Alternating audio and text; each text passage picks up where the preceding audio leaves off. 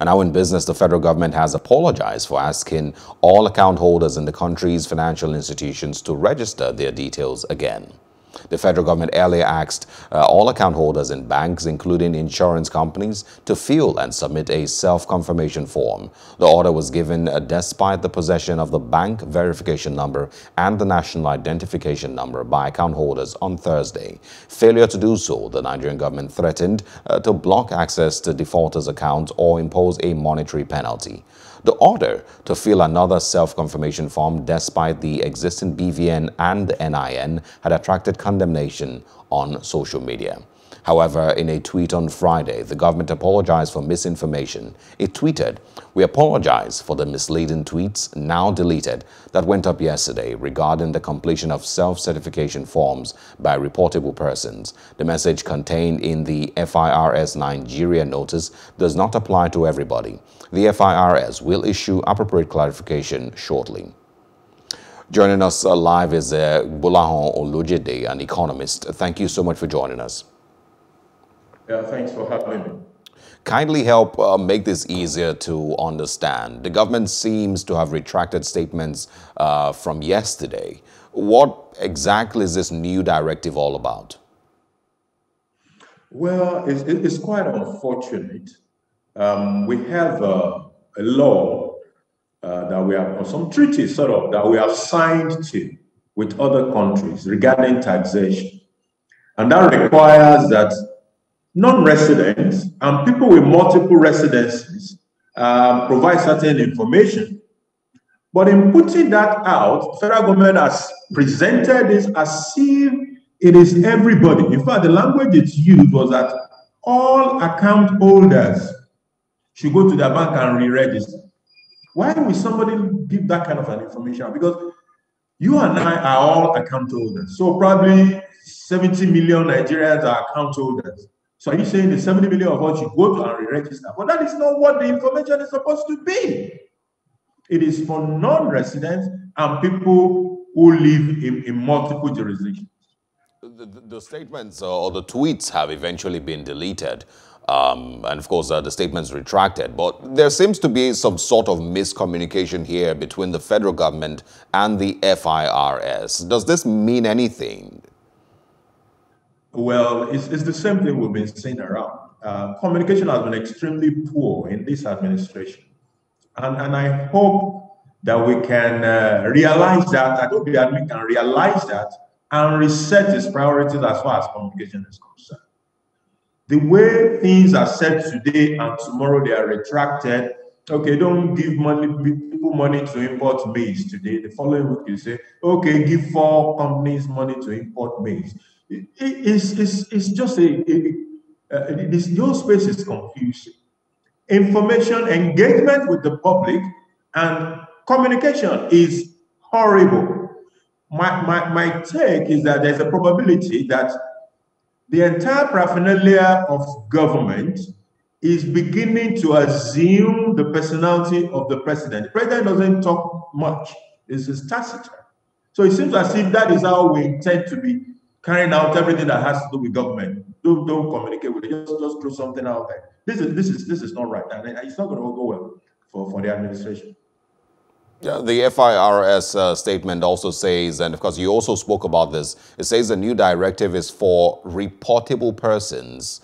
Um, uh, can you share reasons why the government may be trying to get um, better financial documentation on these persons? And what does, what exactly do they mean by reportable persons? Thank, thank you for asking that second question.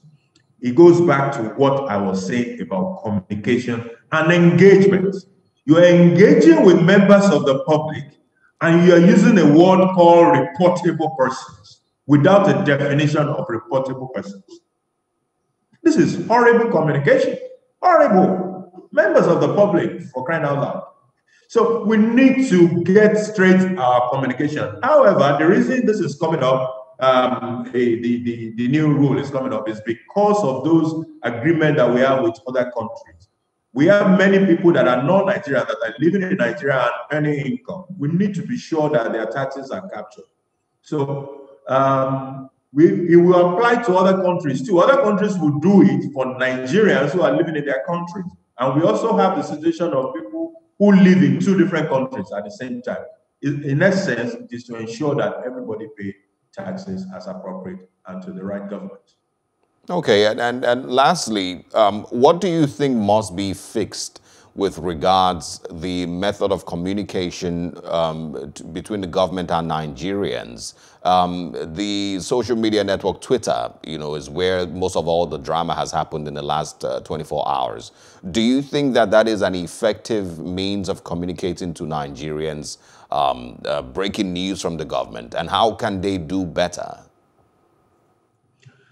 We, we cannot run away from uh, uh communicating using those platforms actually. Um, the, the, there, there, are a lot of people on the platforms and they are useful for short communications, especially the Twitter.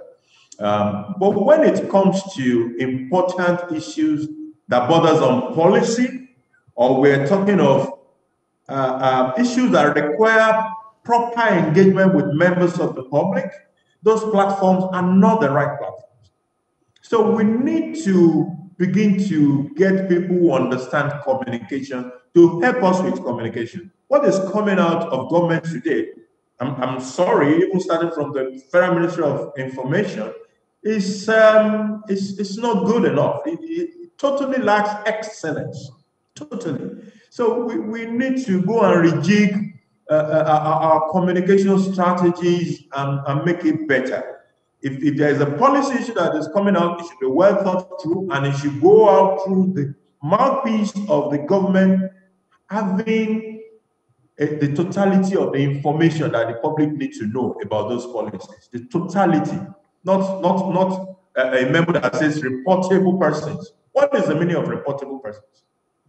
And lastly, just before we, uh, we go, uh, Mr. Olojede, I, I want to get your quick views on the positives, you know, from this directive. Are there certain things that the government is hoping that they would achieve that we can also commend um, in this directive? Uh, it, it, it, will help with uh, uh, tax matters, actually. Um, we, we have a sizable um, people, number of Nigerians who are living outside the country uh, who might not have been totally fulfilling their tax obligations. Even the ones inside are not fulfilling, not to talk of the ones outside anyway. Uh, so it might, it might help with that. Then other countries which you have entered into agreements with on these tax matters are also saying, look, I have my national house living in your country.